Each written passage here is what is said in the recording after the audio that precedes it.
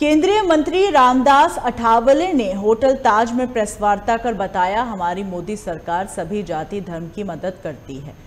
प्रधानमंत्री मुद्रा योजना भी मोदी सरकार ने शुरू की। 2015 से 2021 तक इस योजना से इकतीस करोड़ सैतालीस लाख लोगों को इसका फ़ायदा हुआ। देश भर के लोगों में सभी धर्म, जाति के लोगों को आरक्षण देने की प्रक्रिया शुरू हुई। मोदी सरकार किसानों के खिलाफ नहीं है। सरकार कृषि कानून में बदलाव ज़रूर ला सकती है।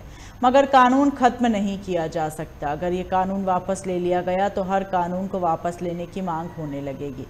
नरेंद्र मोदी और योगी सरकार ने बहुत अच्छा काम किया है। यहाँ अब दंगा नहीं होता। मैं अपनी पार्टी के साथ मोदी और योगी का समर्थन करता हूँ। प्रदेश में एक बार फिर मोदी सरकार आएगी। ये ज़रूर है पक्का।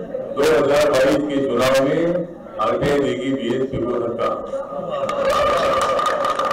तो धक्का देने के लिए मतलब मैं आया हूँ, मैं अभी पूरे उत्तर प्रदेश में घूमने वाला हूँ। मायावती के बारे में हमें रिस्पेक्ट है, वो हमारी बहन है, और वो मेरी बहन है। लेकिन वो मुझे भाई समझते कि मुझे मालूम नहीं है। लेकिन उन्होंने मुझे भी भाई समझना चाहिए। और मैंने बहुत बार बोला है कि हमारे ज़मीन पर बीएसपी ने कब्जा किया है। तो आधी ज़मीन हमको मिलनी चाहिए। आधी ज़मीन बात करो आधी ज़मीन हम लोग दे दो।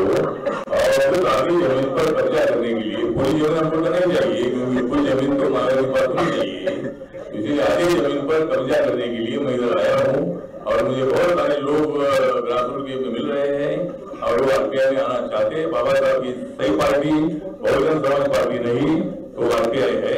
और मैं सभी दलितों का आह्वान करता हूँ। मैं हमारे सब हमारा जाटो का समाज है, हमारा खाटी समाज है वाल्मीकि समाज है पार्टी समाज है आयुर्वेद है है। ऐसे सभी दलितों को मैं आह्वान करना चाहता हूँ कि आपकी सही पार्टी बाबा साहब की पार्टी आरपीआई है। आप आरपीआई में आइए, हम आपका हैं बहुजन कल्याण यात्रा। बहुजन कल्याण यात्रा के नाम से हमारी रैली सहारनपुर से छब्बीस सितंबर को निकली है और उसको नीला झंडा हरा झंडा। आज इटावा में। हाँ? आज इटावा में इटावा हाँ, आज इटावा में है। तो मतलब ये रैली पूरी प्रदेश में घूम रही है। और इसका समापन लखनऊ में अठारह दिसंबर को होगा बहुजन कल्याण महा रैली के नाम से, यहाँ रैली होगी।